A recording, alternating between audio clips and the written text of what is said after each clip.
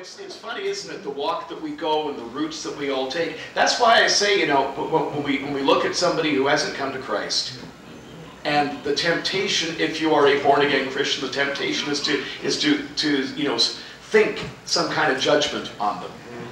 And that's why I say a non-believer is just a saint who hasn't met Jesus yet. We're all at different stages because heaven knows there were people who looked at me, you know, disapprovingly and used words like reprobate and other things I can't spell to describe me. And I just wasn't there yet. And same thing with others. And I see others coming along and where they were a few years ago and where they are now, a few years ago, they just weren't there yet. So we got to cut one another slack. Hey, if you got a Bible, turn with me to the book of John. Excuse me. And let's see if my throat will survive through this one. Chapter 21 of the book of John. Gospel, that is to say. This is after Jesus has risen from the dead. He has shown himself a couple of times already to the disciples. And this time we're at the Sea of Tiberias. And there was Simon Peter and Thomas called Didymus and Nathanael of Cana in Galilee and the sons of Zebedee, the other two of his disciples. And Simon Peter said, I'm going fishing. And they said to him, We're going to go with you. And so they went off, they got into their boat. That night they caught nothing. So there's Jesus standing on the shore in the morning. The disciples didn't realize it was Jesus. And he said to them, Sirs, have you caught anything? And they answered him, No. And he said to them, Cast then out on the right side of the ship, and ye shall find. And so they cast, and now they were not able to draw it for the multitude of fishes. Therefore that disciple whom Jesus loved saith unto Peter, It is the Lord. Now when Simon Peter heard that it was the Lord, he girt his fisher's coat unto him, for he was naked, and did cast himself into the sea. And the other disciples came in a little ship, for they were not far from land, as it were 200 cubits, that's about 300 feet, dragging the net with fishes. And as soon as they were come to land, they saw a fire of coals there, and fish laid thereon, and bread. And Jesus saith unto them, Bring up the fish which ye have now caught. And Simon Peter went up and drew the net to land full of great fishes, a hundred and fifty-three. And for all there were so many, yet was the net not broken. Jesus saith unto them, Come and dine. So here's good old Peter.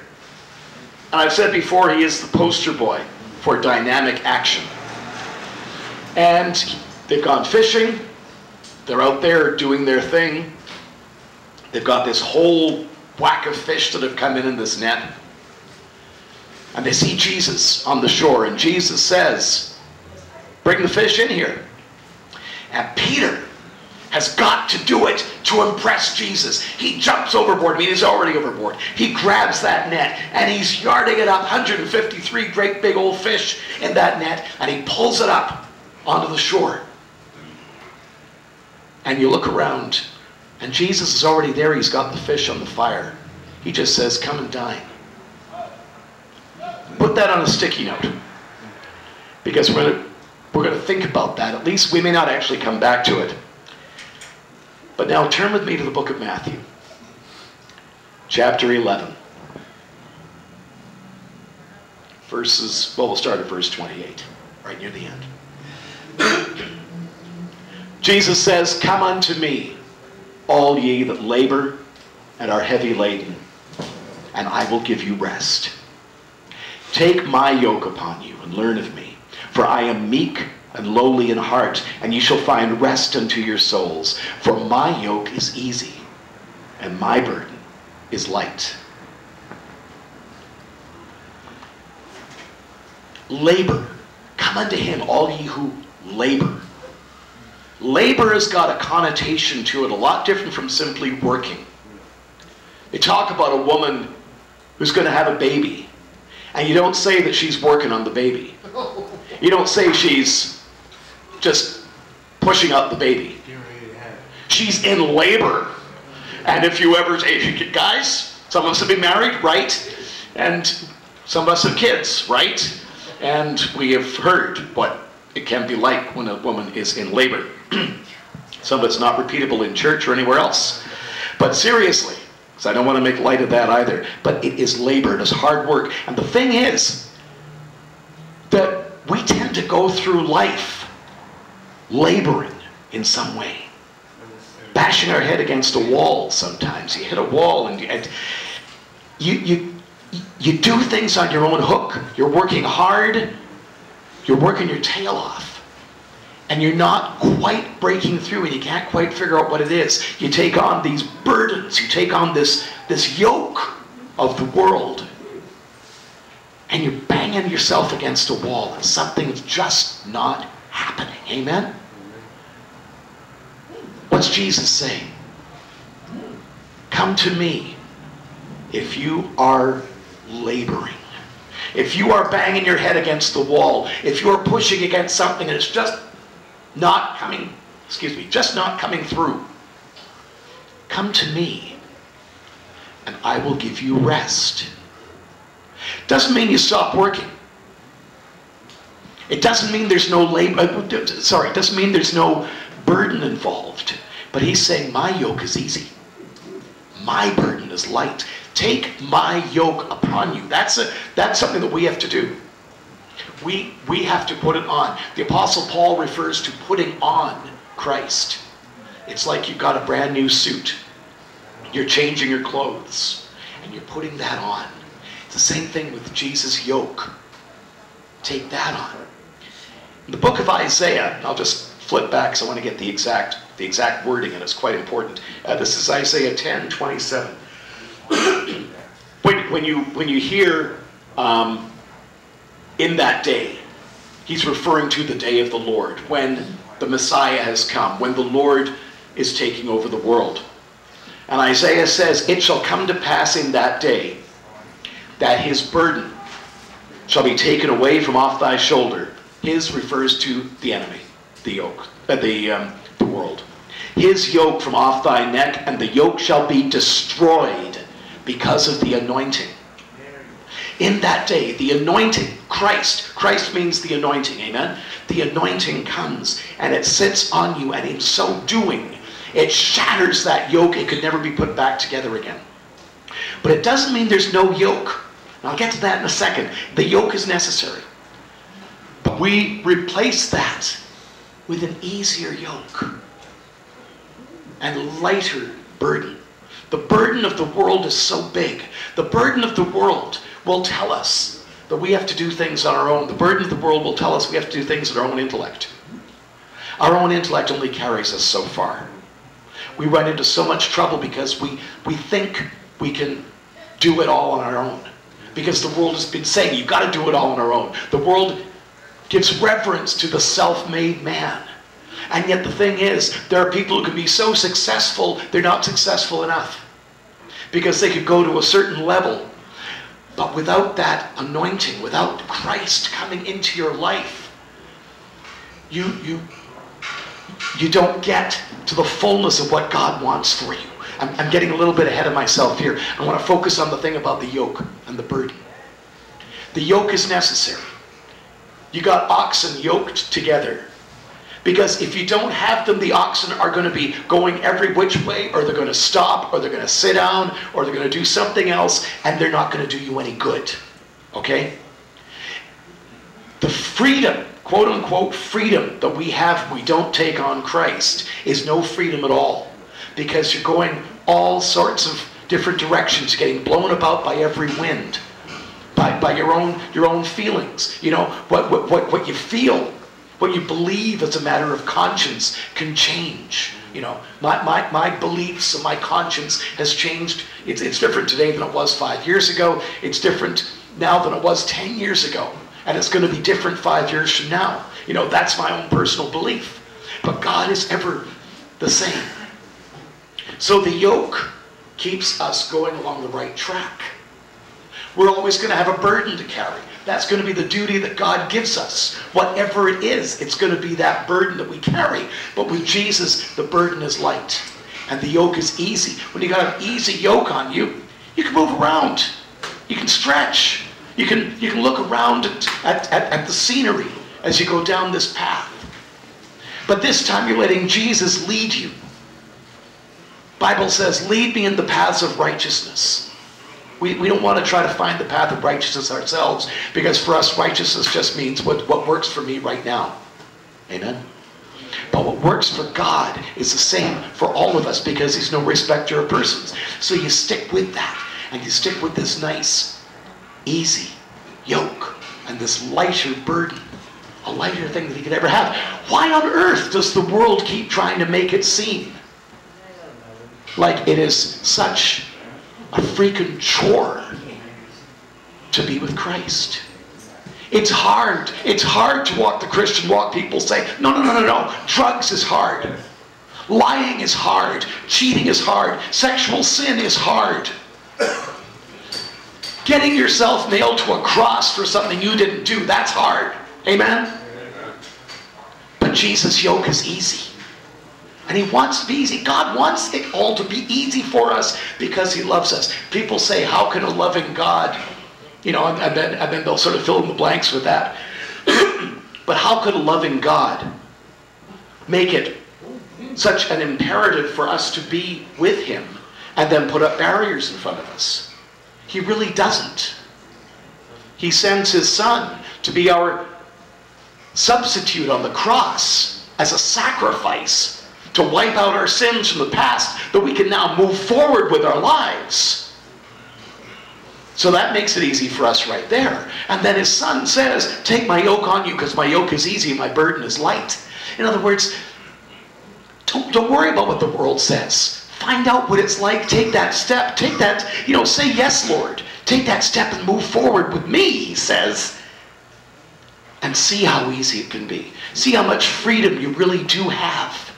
There's so much more freedom when you know the boundaries. And the boundaries God set are the same for all of us. And it's not hard, you see. But, you know, the world doesn't want us to come to God because the world is all mucked up with a whole bunch of other stuff too.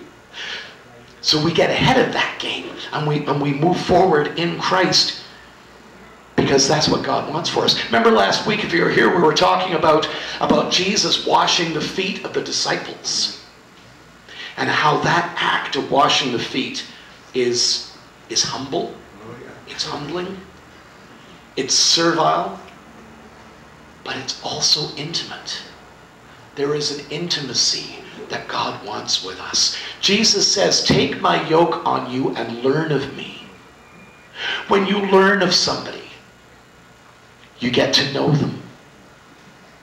God said, in the fall of 2009, he said, This is going to be the year of knowledge. That's kind of been in a holding pattern. We need to get to know God. I mean, God knows us inside out, backwards, forwards. But as we get to know God, we get to know ourselves too.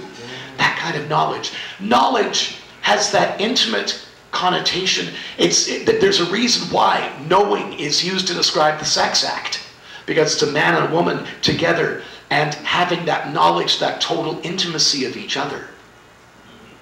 That's what God wants with us. If you look through it, you'll see so much the relationship of God and man is described in terms of a marriage.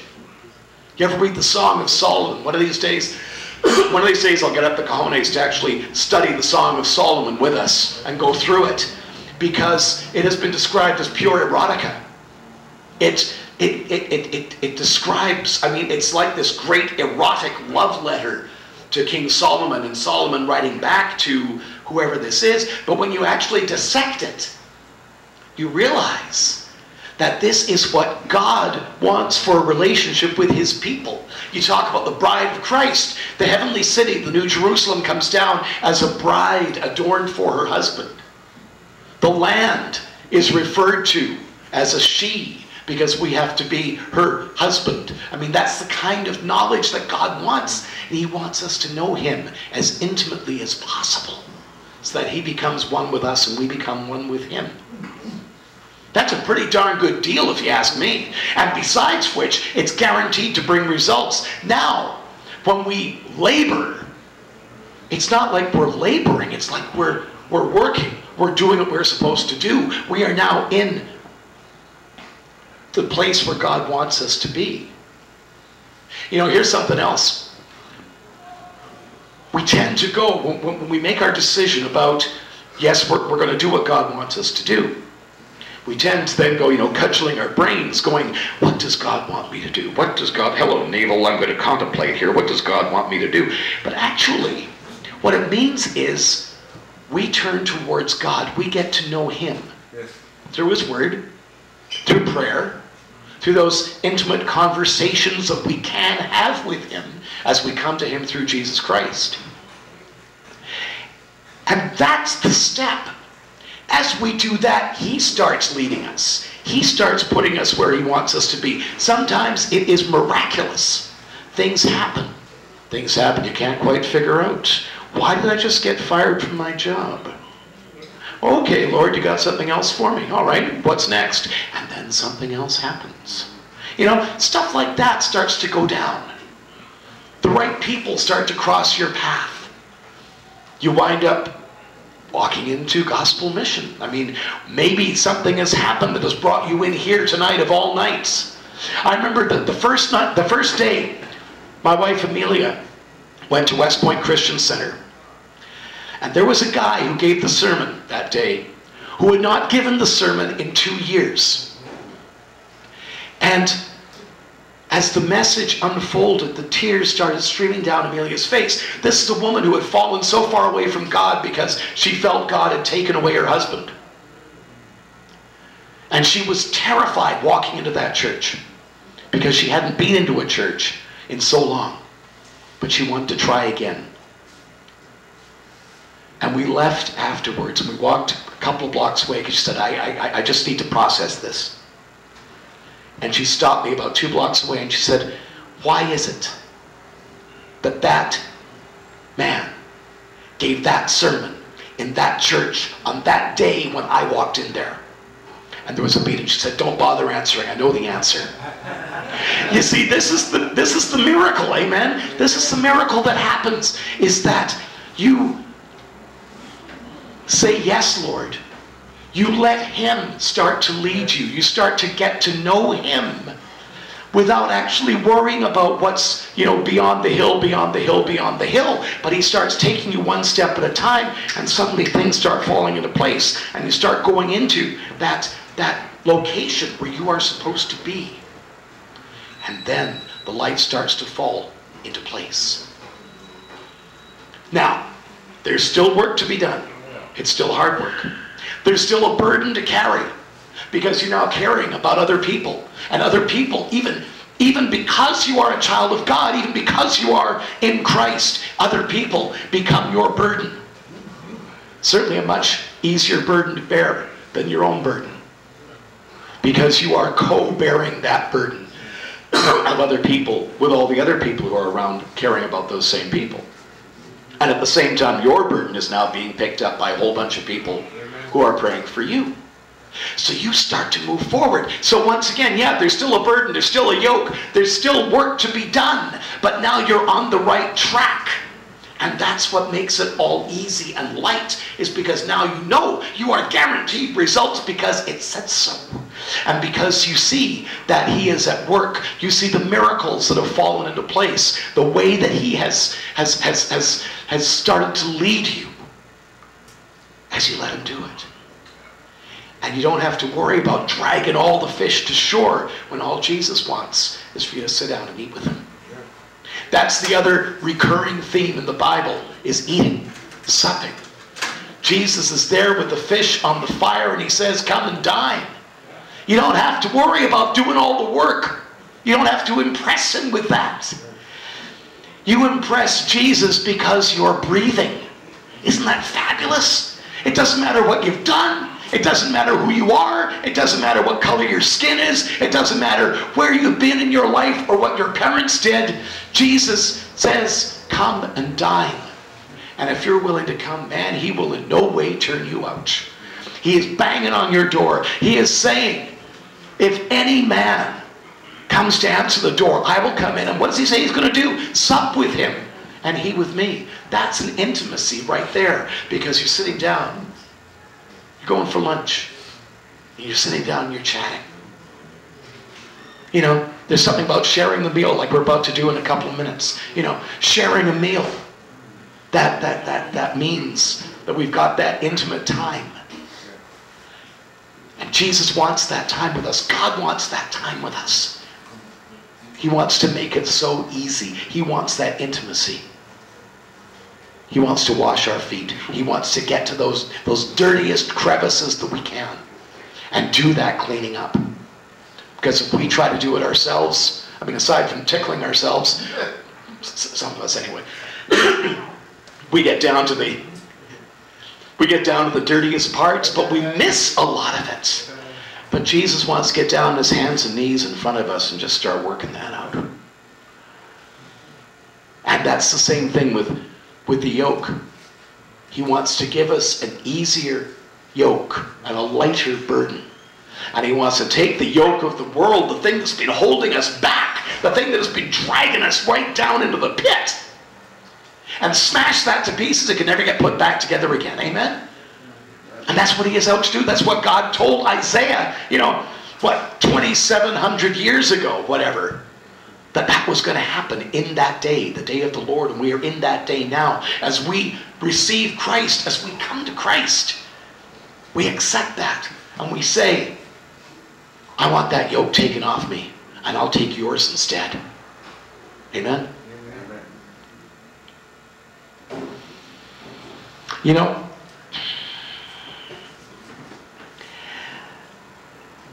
we, we, we don't know the, the, the, the day or the hour when Jesus is going to return, when suddenly it's out of time. But there's a lot of things going on that make you wonder, you know, how much more is going to happen. You know, what happened in Alabama for crying out loud? 200 people like that gone with those 300 with those tornadoes. When I was down in Florida a couple of weeks ago, oh, last week actually, when I was down there, and, and, and there, there, were these sudden storms that just, you know, the finger of God just came down on, on the Carolinas and through Tennessee and, you know, just missed us to the north. You know? Makes you wonder what he's, you know, and, and Japan and New Zealand and Haiti, you know, and it makes you wonder what he's got cooked up for Vancouver. You know, this is a time because, you know, how have we missed out on this? Is he trying to say, hey, have you got the message yet? Have you had enough yet? Are you coming yet? You know? Now is our time that we need to draw closer to God. We need to be praying. We need to be saying, Yes, Lord. We need to, sh- to shed all those things that, that we have been scared of about turning away from the world and turn to Jesus. He's also given us something to relate to that is easy, and that is a man, a human being. God, yes, but in the form of a human being that we can look at and we can say, that's God. He's given us that to relate to. He's given us, you know, whatever we've gone through. He's gone through it too. Whatever temptations that we feel, he's felt them too. Paul says we don't we don't have a high, a, a, an angel for a high priest who can't be touched by temptations. He says, We've got a high priest who knows what it's like. He's been there. Somebody knows the trouble we've seen, somebody knows the sorrow. That's Jesus. We've got that. So now is the time. Even to just take that first little baby step towards saying, okay, I, I, I want to know you. Come into my heart. If you haven't yet, now is a really good time. Feel free to come up, even as we're serving the meal. Feel free to come up and we'll pray together. We'll, we'll, we'll, we'll, do this and invite the Holy Spirit into your heart and be welcomed into the kingdom. Because this is a very real thing we're talking about. The results are real. Benefits are real. I'm not out to scare anybody. I don't want to do the shock and awe thing. I just want to say, you know, it's a time. And it doesn't matter how late you come to the party. God just says, come to the party. You know? Because the benefits are immediate and they just keep on growing. So, let's pray. Father, we, we thank you for the repeated reminders that you make it so easy for us to come to you. We thank you that you want us to be a part of you and you want to be a part of us. so much that you clear the way. You make the way straight. You, you, you, you, you, you raise up the valleys to us. You keep a standard in front of us that we can look towards. And you give us an easy yoke and a light burden. Help us to remember that as we go through the things we have to go through today. Give us that courage to take those little steps towards you to say, I want to get to know you. I want to reach out to you. And Father, also for those of us who, who already know you, give us the courage to reach out to someone else and say, This is what I know. Say, Come on in, the water's fine. To encourage people, to encourage people to look for something better and to strive for that something better because it's available to all of us and it's right within our grasp. Thank you, Lord. Thank you for all you do for us. In Jesus' name, amen. amen.